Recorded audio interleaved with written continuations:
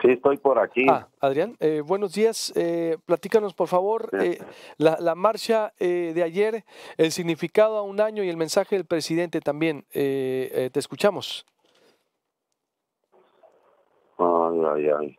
A ver, otra vez de, de, la marcha de ayer. Sí, el mensaje que dieron ustedes. el mensaje, pues de alguna manera fue para protestar contra la estrategia de seguridad. Ustedes piden el, cambio de estrategia en la Ciudad de México, lo pidieron, Adrián.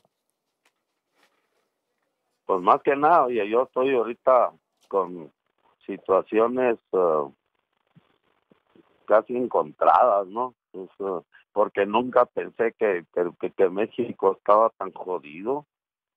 Esa manifestación que vimos ayer, porque de los 100 o mil abrazos que me dieron, el 90% venía competición.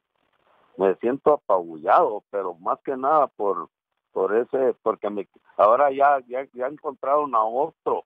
O sea, Julián lo ha sido por tantos años, como es Javier Sicilia, todos que escuchan el dolor y la impotencia del México, pues en dónde me vine a meter, y eran un chingo de gente es increíble. Yo creía que yo y Julián íbamos a ir con una mantita a interrumpir un, un una marcha y a ver si nos aceptaban, yo y mis hijos y mi familia y, y pocos de mi pueblo y miran lo que se convirtió. Yo no sé cómo se llama esto. Yo quisiera que tú me des la definición de qué pasó, porque yo todavía no le encuentro. No, platícame tú, ¿qué te dijo la gente? ¿Que se, nos, se te acercó y qué te decía, eh, Adrián? ¿Qué, qué, qué te decía?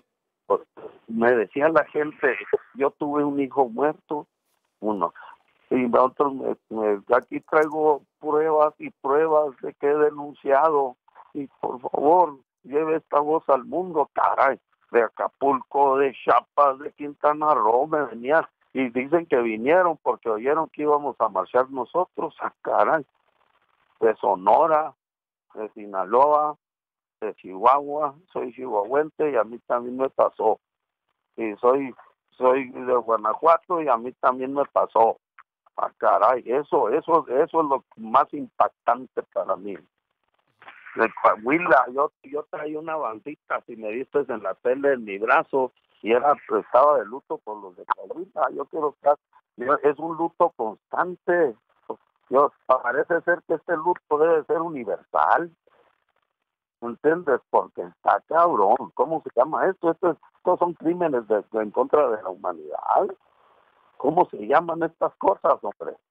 Porque yo no acepto, ¿eh? A mí que salgan con que andaban vendiendo pastillitas, que la chingada, y por eso los matan. Por eso los masacran. ¿Entiendes?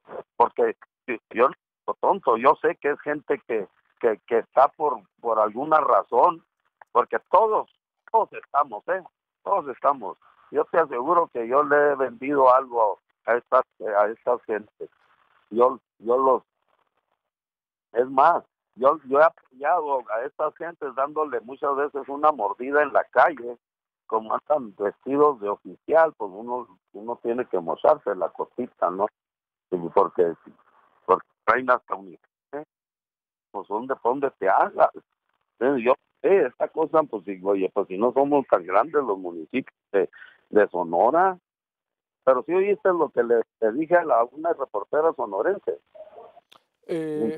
Que yo quería que se nombrara ese, de lo que hablamos, de lo que hablamos con este ah, de, de, de hacer ese nombrar, pedir que el diputados de Sonora y los diputados de Chihuahua junten para hacer de ese camino de un nacional que se llame el púlpito. ¿Entiendes? Ahí está bien. Adrián, permíteme, es que se está un poco perdiendo. Adrián, se está perdiendo un poco el mensaje. Me dices, ¿están proponiendo ustedes que diputados de, de Sinaloa y Chihuahua hagan qué? Pues nomás que se haga un parque nacional, va, viste, ahí donde asesinan, acribillaron a 17, en el nombre de esos 17, que los estados reclamen ese ese parque nacional, me refiero, para que vuelva a ser de todos los mexicanos. Eso yo, también neta, es una manera de decirle al mundo, estamos jodidos. Un memorial, pues, ¿no? Yo, yo no lo quiero hacer tanto como un monumento a los 19, 17 acribillados. yo lo quiero hacer más como, como, como en respuesta al mundo de qué tan acribillados estamos. ¿En qué estamos? ¿Cómo viste la respuesta que? Bueno, ayer mismo también se dio a conocer los tres detenidos eh, sobre la a ver, Adrián, se cortó la comunicación eh, con Adrián Levarón. A ver, voy a hacer un corte y vuelvo con Adrián Levarón eh, para volver también con Mesa Análisis Enfoque Sonora. Eh, él me está diciendo que está proponiendo que esa, donde fue el lugar de la masacre, se haga un parque nacional. Es como una especie de memorial, ¿no? Como se hace en Estados Unidos, me imagino, para mandar un mensaje de simbolismo, de protesta. Corte y vuelvo con más información.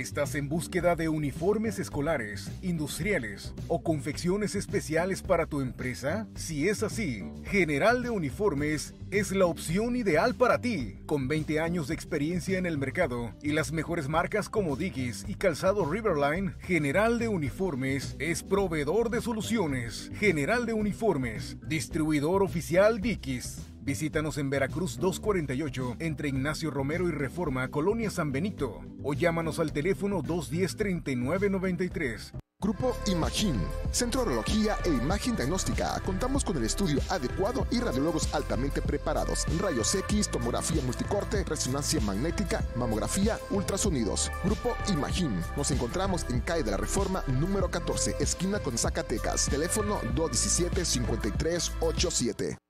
La mejor opción para renovar tu celular es Cellular Fast, distribuidor autorizado Telcel, porque si lo buscas, lo encuentras. Gran variedad de modelos y los mejores accesorios. Pídelo a domicilio o visítalos en Guerrero 99 entre Doctor Noriega y Morelia, Colonia Centro. Llama al 213-1000. Cellular Fast, distribuidor autorizado Telcel.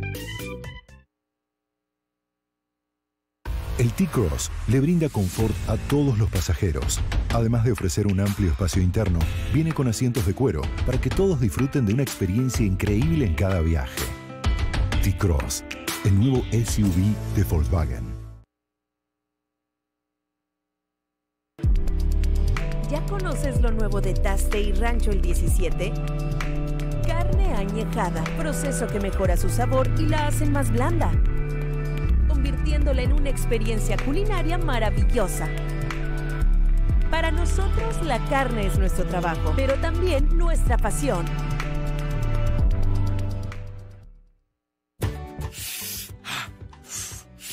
¡Ey! ¿Qué estás comiendo? Me estoy saboreando con la nueva salsa sonora extra picante. ¡Arde! ¡Saca! Sonora que arde. Nueva salsa sonora extra picante.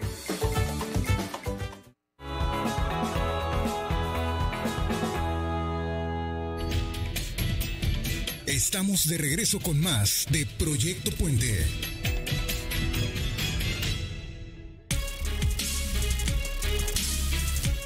8 de la mañana con 22 minutos. Se cortó la eh, llamada ahorita con Adrián Levarón para terminar la entrevista. Me decías, Adrián, que propones que el, en Bavispe se haga una especie de parque nacional en conmemoración, eh, bueno, no conmemoración, una especie de, protesta simbólica por la masacre eh, de la familia Levarón, una especie de memorial, como se hace en Estados Unidos. Pues algo son, así. son son puros sonorenses, hombre. Sí. Y yo quiero mucho que se haga un parque nacional ahí en el púlpito no sé si conoces el púlpito, es un cerro bien hermoso, de, reconocimiento mundial, y poder irnos a pasear ahí con nuestros hijos, y que, que, lo, que el mundo entero lo reclame como su...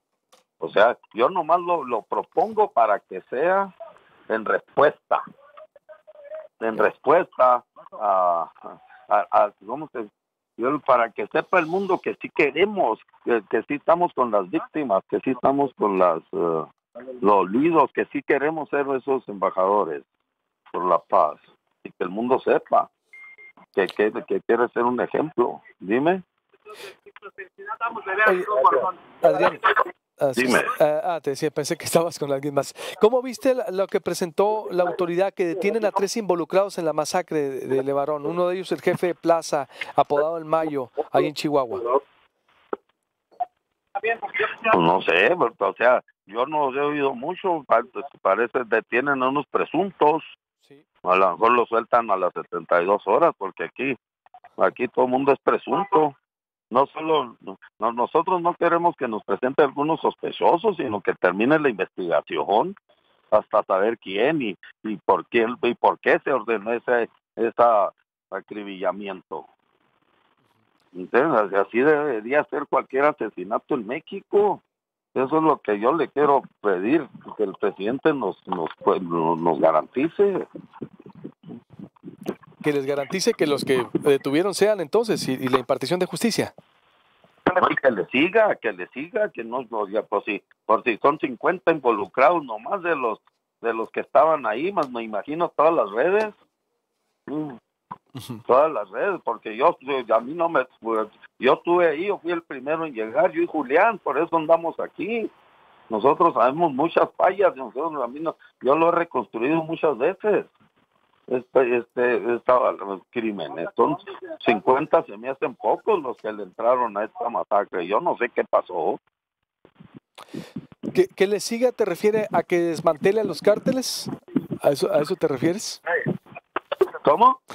Que le siga, dices tú. Tú pides que el gobierno de López Obrador desmantele a los cárteles, que los... eh, No, yo no estoy pidiendo eso. Que se vaya, que termine la investigación hasta saber quién y por qué lo ordenó. Yo no, ¿cómo que yo que yo que yo ni sé qué quieren decir car- carteles? Sí sé que en mi pueblo hay algunos sicarios y me imagino que en Janos hay muchos sicarios que hasta los niños los conocen. ¿Entiendes? Pero que yo a mí no me puedes decir que yo pido que se desmantelen los carteles. O sea, si aquí el problema, yo nomás quiero que Bavispe y Galeana por lo pronto puedan ser municipios de, que- de fíjate, porque así lo siento, hombre. Yo lo creo que, que tendremos que, para mí es un, necesitamos armar un primer municipio, puede ser Galeano o Bavispe, que se ha aprobado como un piloto exitoso, la idea es replicar unas 2.500 veces, hombre. Entonces vamos a empezar por aquí, por Bavispe, por Galeana, ¿entiendes? Porque tampoco que no va a haber en cada municipio de mexicanos y mexicanos ejemplares que se comprometan para lograr un municipio en paz, hombre. El problema viene, aterriza en tu municipio, hombre. ¿De cuál municipio eres tú? De Cananea. ¿Eres de Cananea? Ándale, Ándale, para que ándale, vean. si eres de Cananea, te quiero preguntar cómo, que, qué tan jodido estaba Cananea con respecto a, a eso que te estoy diciendo. En, Cata- en Cananea, ¿cuántos ministerios públicos hay? ¿Entiendes? Hay juez cívico, me pregunto yo. O, o, o, o- o dime unos municipios que estén colindando con Cananea. Y te aseguro que ahí, ahí alrededor de Cananea hay 20 municipios que no tienen ministerio público, que no tienen juez cívico, que no tienen, eh, no, no, que no tienen. El otro día en Cuauhtémoc, cuando se iba a inaugurar como presidente municipal de la ciudad de Cuauhtémoc, que una ciudad muy progresista, yo oí en un discurso cuando le dijo el presidente municipal a, a- a Corral, le dijo, y yo no quiero que me anden mandando tus policías estatales a mi municipio. Así lo dijo, y te lo puedo sacar. O Sí, sea, ahora Bueno. resulta que, que entiendes que, que no quieren que por fíjate que, que por petición de la ciudadana de la ciudadanía eh, ni siquiera va a, poder, va a poder entrar la policía del estado porque este presidente municipal se lo prohibió ¿Entiendes esa Sí. magnitud? A mí, Sí. yo te, te juro, digo yo, pues qué tan jodidos estamos constitucionalmente. Está así el problema. Yo me hago miles de preguntas. ¿eh? Sí, así Porque tenemos yo- esa yo calidad. quiero llegar al meollo del problema. Oye, Adrián, ¿van a ¿A estar con el presidente? falta la patita que en donde se nos están cayendo nuestros municipios hasta el suelo? Porque yo creo que vivimos en una nación con municipios desplomados. Totalmente de acuerdo. ¿Vas a estar con el presidente ahorita? ¿Tú ahí en la Ciudad de México sigues ahí o no? ¿Van a estar ustedes? ¿Tú vas a estar ahí? Sí, aquí estoy. Pero tú vas, para allá. vas para Me allá. estás, me estás quitando el tiempo porque no sé Bueno, cómo hacer. Bueno, Me entonces, estoy ¿qué poniendo- Te- me te- estoy limpiando las lagañas, se me está quitando la flojera. bueno, pues mañana te, te volvemos a entrevistar para que me digas cómo fue la reunión del presidente, ¿sí? Eh, eh, con mucho gusto. Ahí, por favor, y este mensaje. Yo lo que quiero es que Sonora quiero que con Sonora cuente con un embajador de principios de paz y de justicia. Porque la mayor de la gente que me abrazó me dijo, oye, yo quiero que tú seas mi abogado. Y porque yo, a mí me mataron a mi hijo, yo quiero que seas mi abogado porque porque a mí me a mí me secuestraron a mi familia yo quiero que tú ahí pues ya no querían ni abrazar a la gente para fíjate si, si quieren que sea yo abogado de esas causas los sonorenses y los chihuahuenses interesados en esto pues por favor denme el título de abogado para ser un abogado con título no un título sin abogado pues ya por lo pronto estás luchando como activista y creo que ya eso también eh, contribuye mucho. Eh, Adrián, y nos escuchamos mañana para que me digas cómo fue con la reunión del, con el presidente. Gracias por tu tiempo. servicio. Gracias, igualmente. Hola, Sonora, no eh, te rajes. Órale, por supuesto que no. Adrián Levarón, de verdad, como siempre, disponible para Proyecto Puente.